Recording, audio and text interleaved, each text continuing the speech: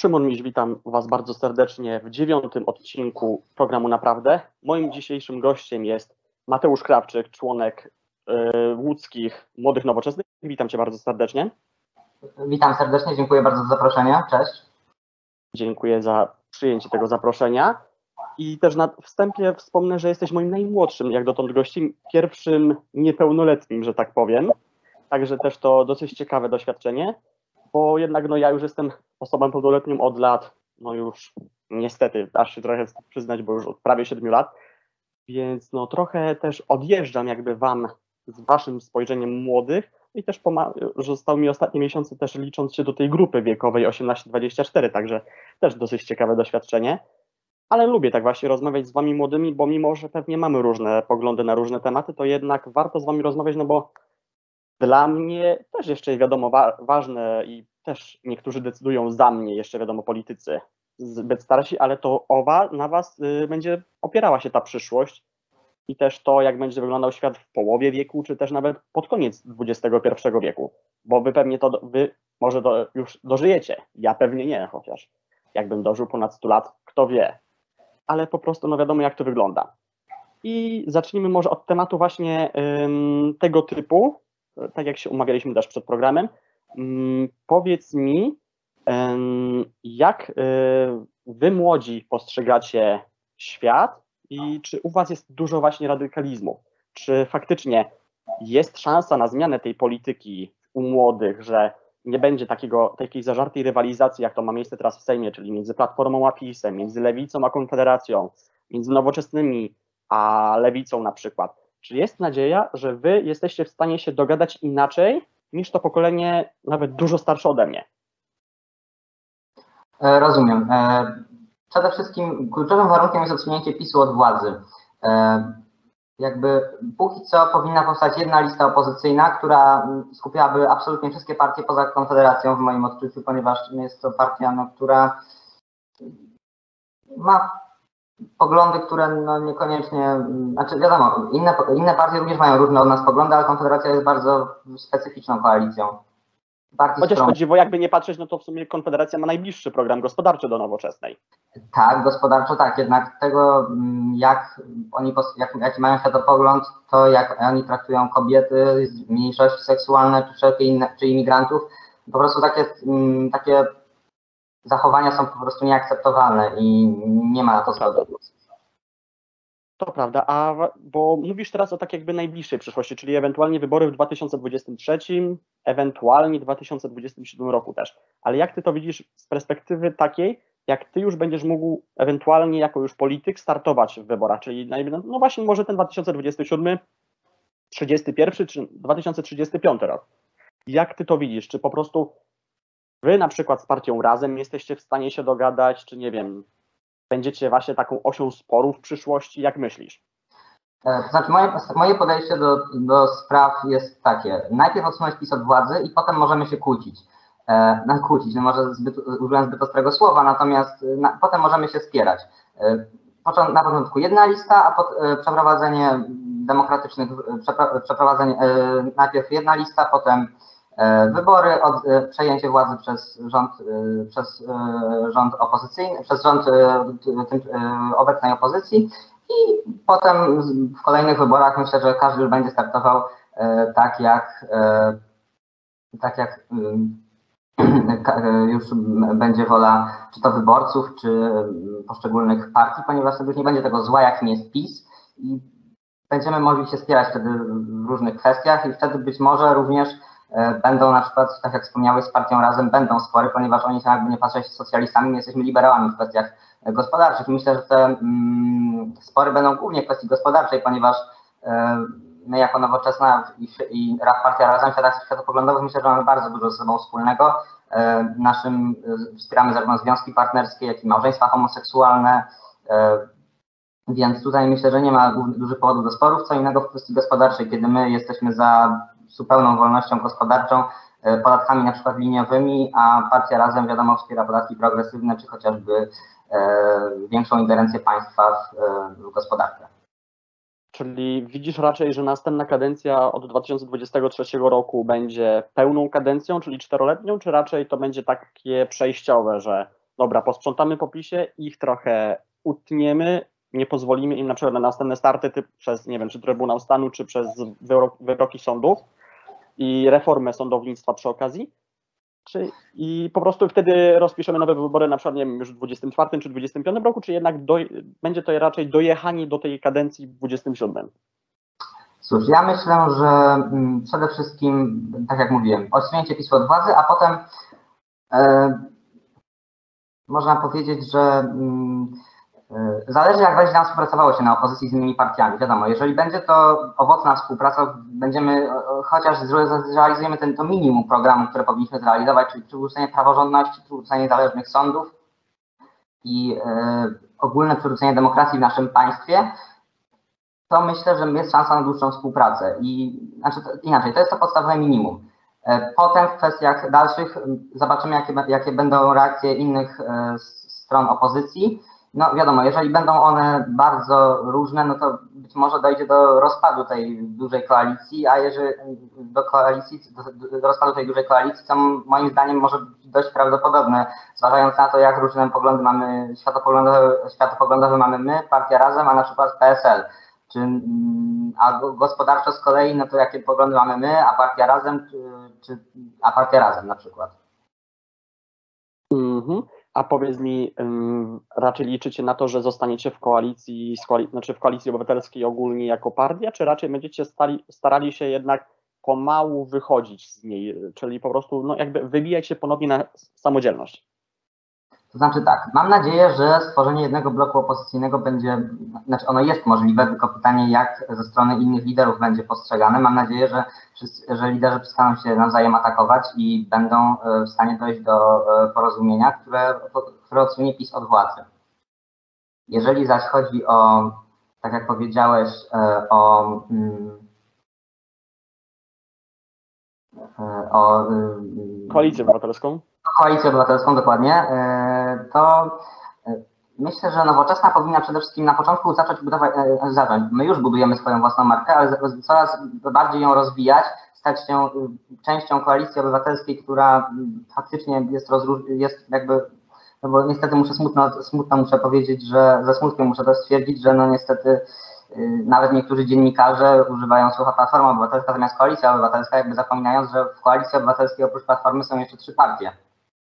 E, Nowoczesna, Inicjatywa Polska i Zieloni, którzy również mają, e, mamy jakby, mamy z Platformą e, wiele różnych, mamy, w niektórych poglądach się różnimy, a w niektórych poglądach mamy, mam- a niektóre poglądy mamy zbieżne, więc wkładanie, jakby zastępowanie całej koalicji szyldem Platformy jest dla nas inicjatywy i Zielonych po prostu krzywdzące.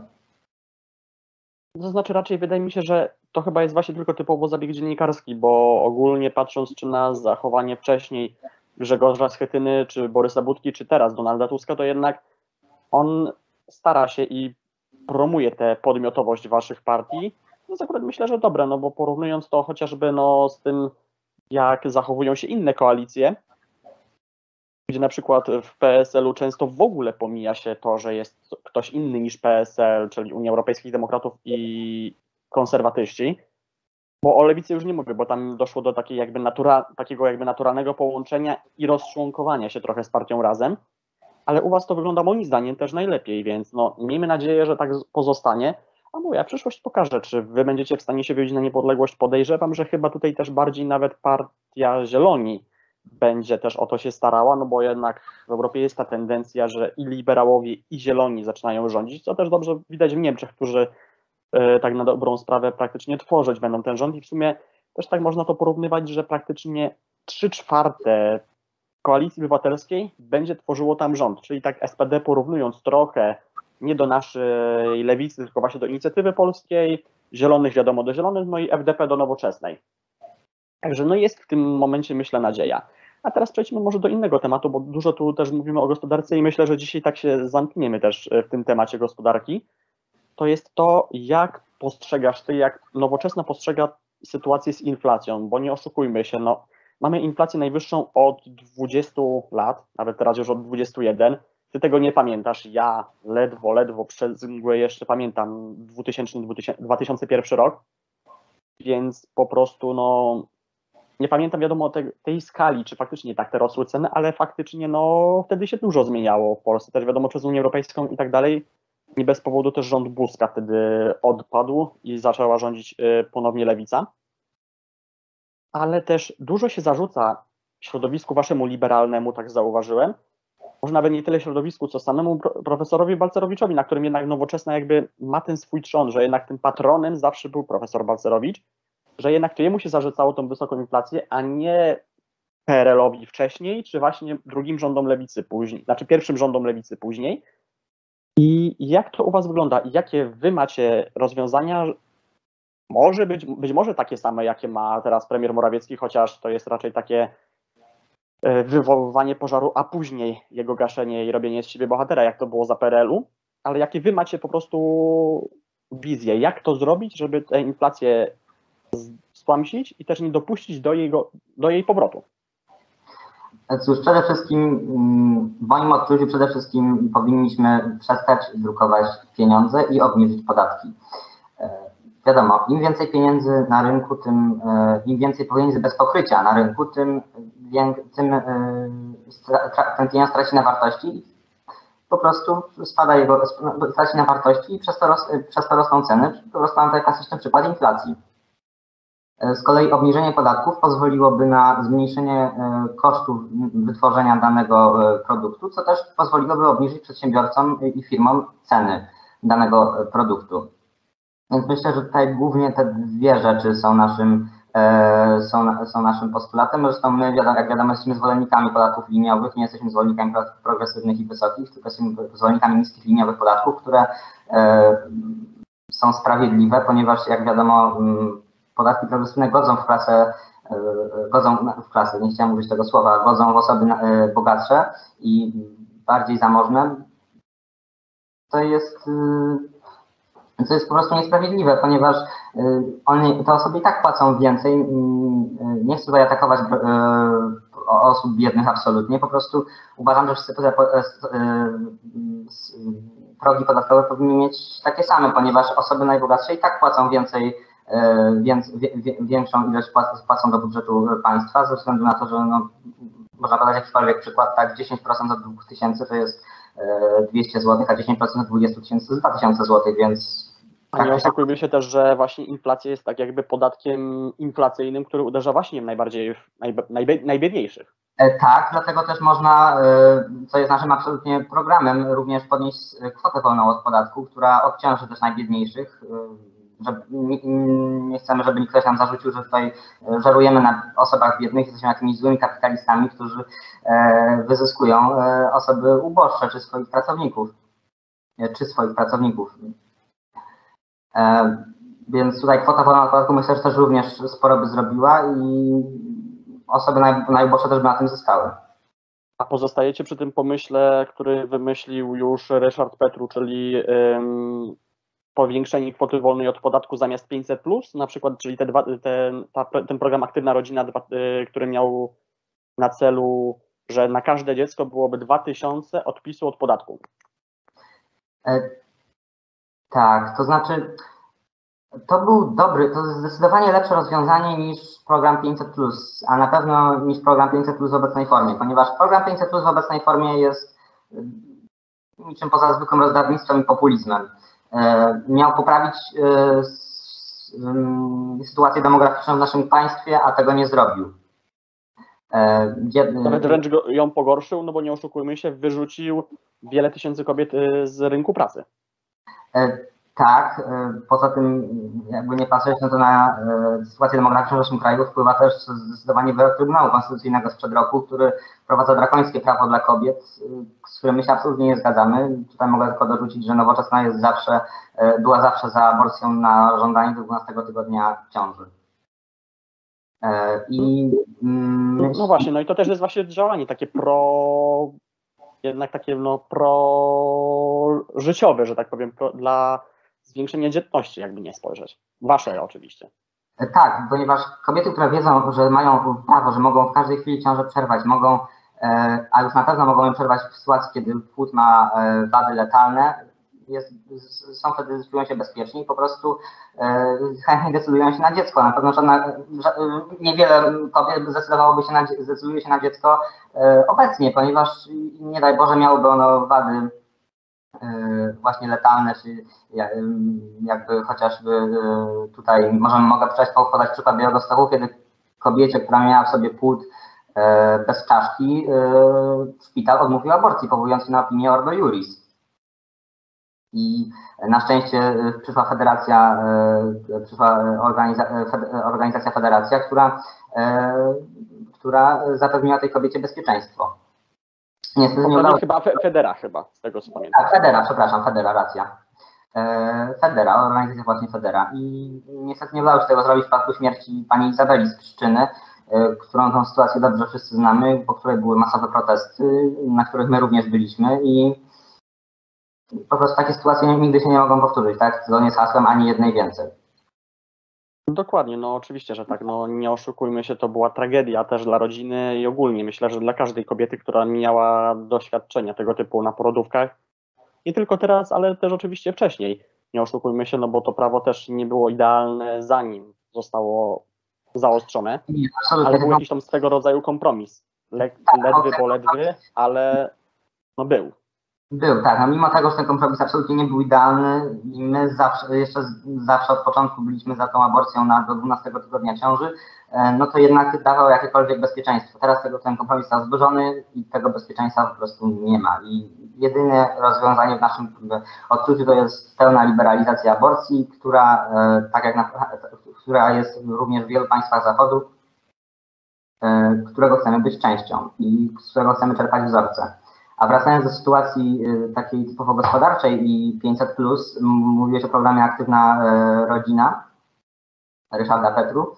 E, więc absolutnie ja jestem, y, osobiście jestem za, y, na pewno nie jestem za e, rozdawnictwem pieniędzy w taki po prostu bezmyślny sposób, o dam wam 500 zł do ręki i głosujcie na mnie. Nie, ale powinny to być bardziej pieniądze, które można odpisać e, właśnie od podatku, tak jak powiedziałeś, które można mm, na wszelkiego rodzaju zniżki, e, zniżki czy też właśnie odpisy, tak jak mówię, odpisy od podatku i to jest myślę, że to jest jedna z tych najrozsądniejszych opcji do wyboru, ponieważ no, nie napędzamy w ten sposób inflacji, a wiadomo, że my dążymy do tego, żeby podatki były coraz niższe i Tyle mogę powiedzieć.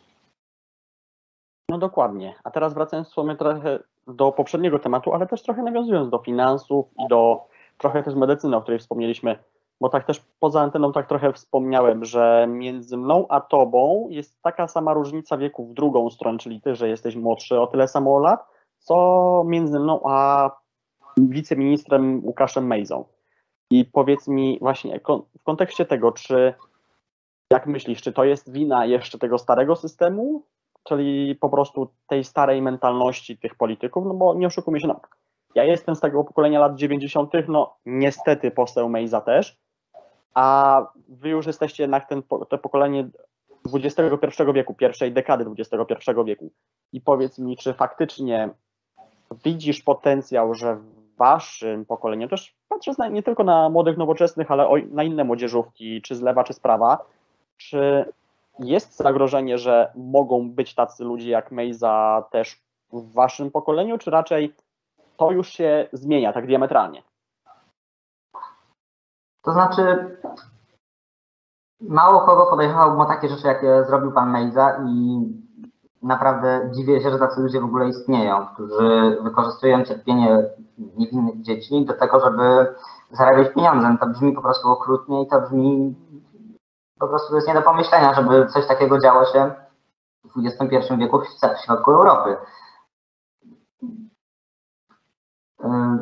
A co do mojego pokolenia, też nie znam żadnej osoby, którą podejrzewałbym o, coś takiego. Jeżeli patrząc po innych młodzieżówkach również, nawet którzy mają zupełnie odmienne poglądy ode mnie, myślę, że w żadnej partii czy w żadnej młodzieżówce nie ma zgody na wykorzystywanie dzieci do zarabiania pieniędzy po prostu e, w jakikolwiek sposób. E, a tym bardziej w tak okrutny, dając im złudne nadzieje na bycie e, wyleczonymi za, za, za pomocą drogich terapii, które po prostu no, nie istnieją tak naprawdę i tylko dają niezłudne nadzieje.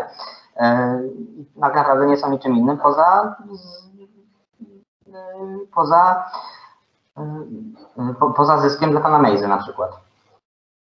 No dokładnie, no to jest w ogóle zatrważające, że ten człowiek nie został zweryfikowany przez służby i przez w ogóle kogokolwiek w PiSie, bo pomijając fakt tego, że zos- został wybrany z list PSL-u, co też pisowcy próbują zarzucić, ale jednak to była lista koalicyjna, tak jak zresztą ich, i też ludowcy raczej dali tu wolną rękę właśnie czy samorządowcom, bo w sumie Mejza był praktycznie wszędzie i w samorządowcach, i romansował z Kukizem, i romansował z bodajże Gwiazdowskim chyba też.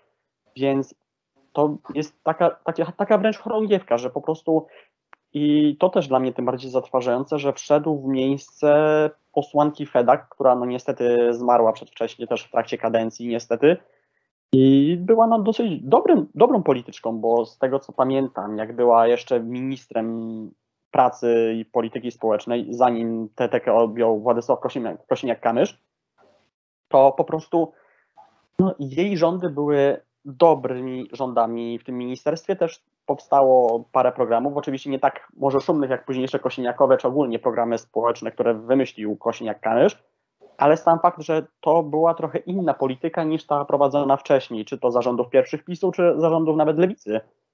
Ta była taka bardziej właśnie typowo do ludzi, nie taka systemowa, systemowa cały czas, tylko właśnie do ludzi, która była trochę może bardziej liberalna, ale mimo wszystko dawała jakieś inne aspekty. A tutaj mamy osobę, która weszła na jej miejsce i tak naprawdę próbowała wylansować się wcześniej w biznesie, no właśnie na takie haniebne rzeczy. Nie wiem, czy licząc faktycznie, że zostanie mi posłem kiedyś tam, czy cokolwiek, czy może, nie wiem, może przeliczył się i powiedział, że dobra, nie zostaje mi posłem, bo nie dostałem się do, do Sejmu, ale mam wsparcie teraz PiSu, więc nikt mi nic nie zrobi i nikt się o tym nie dowie. No niestety, no tak to nie działa w tym jeszcze na szczęście, bo nie da się wszystkiego zamieść pod dywan po prostu. Ale tak jak mówisz, po prostu to jest haniebne i taki człowiek, że dostał się do Sejmu, to jest dla mnie naprawdę haniebne. Po prostu no, najgorsze słowo można by tu użyć. I no, to jest tragedia dla, państwa polskiego, że ktoś taki jest wiceministrem, ma dostęp do różnych tajemnic państwowych, do jakichś tam przywilejów, które z tym się wiążą, że jest jednak wiceministrem.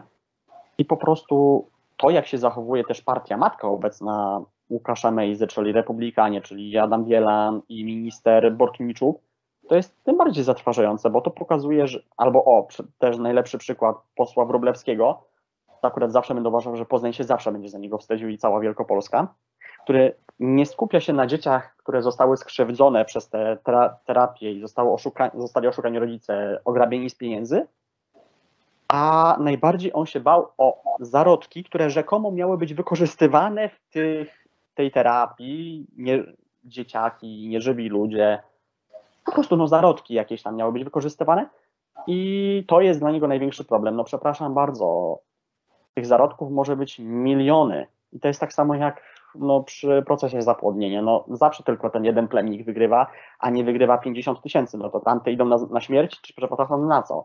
Już tak idąc dosyć mocno kolokwialnie. Ale po prostu no, dla mnie to jest taka degrengolada już, że tego się nie da odkręcić i tutaj może będę trochę znowu niepopularny, ale myślę, że tak czy siak albo te wybory zostaną dociągnięte do 2023 roku i PiS już nie będzie miał w ogóle szans na jakiekolwiek poparcie, albo sami wymyślą sobie wybory, żeby jeszcze mieć jakiekolwiek poparcie 20, tam, dajmy na to procentowe i jakoś wejść do Sejmu, oczywiście już nie rządzić i tylko patrzeć z tylnego siedzenia, czy sobie obecna opozycja radzi. Nie wiem, co jest szczerze powiedziawszy lepsze w tym momencie. Tak, cóż, jeszcze wracając do pana Mejzy i całej tej sytuacji, w ogóle podejścia PiSu do zarodków i tego typu rzeczy, czy Konfederacji. Dla nich, z ich działań można wywnioskować, że dla nich ważniejszy jest płód, ważniejszy jest zarodek, który jeszcze nie jest człowiekiem, niż zdrowa kobieta, czy zdrowe dzieci w przypadku pana Mejzy, które e, czy pan pana Wróblewskiego, tak jak e, powiedziałeś, które, e, która bardziej martwi się o zarodki, a nie martwi się o żywe kobiety i żywe dzieci, które zostały oszukane w bezduszny sposób. Dlatego mamy, mam nadzieję, tak jak ty, że tacy ludzie nigdy więcej nie dostaną się do Sejmu i nigdy, czy, czy ogólnie do parlamentu i do polityki przede wszystkim, ponieważ polityka powinna być e, tworzona przez ludzi odpowiedzialnych. Przynajmniej chcemy, chcemy, żeby tak było i mam taką nadzieję, że będziemy do tego dążyć. I nie powinno być w niej miejsca dla ludzi pokroju pana Mejzy, czy innych ludzi, którzy żerują na kimkolwiek lub po prostu dla pospolitych złodziei, którzy e, rozstradają publiczne pieniądze, tak, e, czy, czy, e, czy biorą, czy ludzi, którzy biorą na przykład tak jak poseł Czarnecki kilometrówki za przejechanie ze złomowanym Fiatem Punto Cabrio z Jasła do Brukseli. I to jeszcze zimą w dodatku zaznaczmy. Zimą, tak, tak, to po prostu było niesamowity wyczyn. Dokładnie. I teraz tak już w sumie na taki ostatni temat, który ty tak w sumie zarzuciłeś, bo no nie ukrywam, jestem, znaczy może nie tyle powiem jakiś ten, związany z nowoczesną, ale no obserwuję nowoczesną od początku, bo to dla mnie była partia, nie ukrywam, no, nowej jakości w polskim parlamencie, bo jednak od czasów profesora Balcerowicza takiej nie było. No, załóżmy, że Platforma Obywatelska tak zaczynała, ale szybko z tego kursu zeszła. Nawet tutaj można by wypomnieć trochę romans z Korwinem z tego czasu.